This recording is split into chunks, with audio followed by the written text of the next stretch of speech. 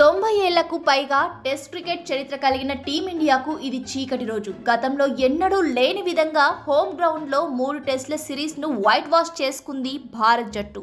New Zealand పై మూడు టెస్టుల్లోనూ ఓడిపోయిన భారత్ అతి చెత్త రికార్డ్ క్రియేట్ చేసింది.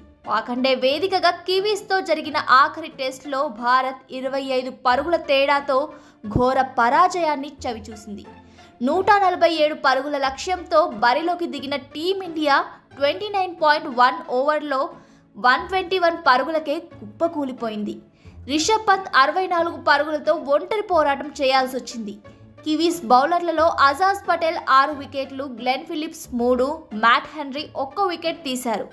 ఈ విజయంతో మూడు టెస్టుల సిరీస్ను న్యూజిలాండ్ క్లీన్ స్వీప్ చేసింది. మరోవైపు స్వదేశంలో మూడు లేదా అంతకంటే ఎక్కువ మ్యాచ్ల టెస్ట్ సిరీస్లో వైట్ వాష్కు గురి కావడం భారత్కు ఇదే తొలిసారి. ఇక చివరిసారిగా రెండు వేల సంవత్సరంలో దక్షిణాఫ్రికా రెండు మ్యాచ్ల టెస్ట్ సిరీస్ కోసం భారత్లో పర్యటించినప్పుడు క్లీన్ స్వీప్కు గురైంది. అప్పుడు కూడా వాకండేలో భారత్ ఓడిపోయింది. ఆ తర్వాత బెంగళూరు టెస్ట్ లోనూ ఓడిపోయింది. భారత్కు ఇదే చివరి వైట్ వాష్. అయితే ఈ సిరీస్ రెండు టెస్ట్ మ్యాచ్ల సిరీస్. కానీ ఇప్పుడు ఓడిపోయింది మూడు టెస్ట్ మ్యాచ్ల సిరీస్. అటు గంభీర్ కోచ్గా అవతారం ఎత్తిన తర్వాత భారత్ ప్రదర్శన దారుణంగా తయారైందన్న విమర్శలు వినిపిస్తున్నాయి. ఒకప్పుడు టెస్టుల్లో భారీ స్కోర్లు సాధించిన టీమిండియా ఇప్పుడు రెండు వందల పరుగులు చేయడానికి కూడా కష్టపడాల్సిన పరిస్థితులు కనిపిస్తున్నాయి. ముఖ్యంగా కోహ్లీ ప్రదర్శన మరింత తీసికట్టుగా మారింది.